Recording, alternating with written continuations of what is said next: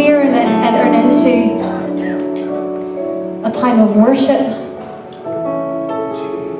but a time of exchange of love with our Father. And it is not one way.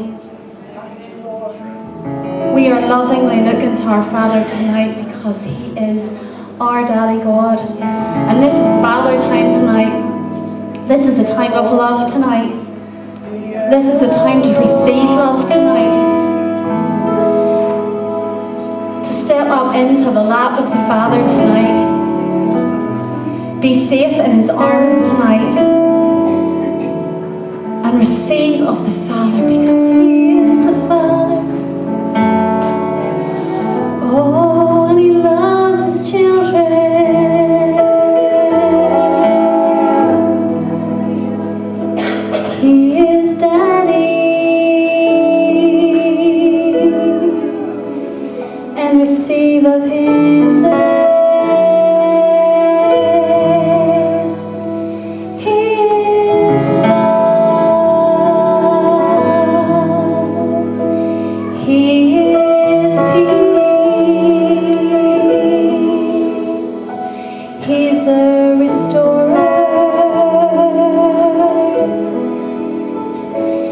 he's the healer.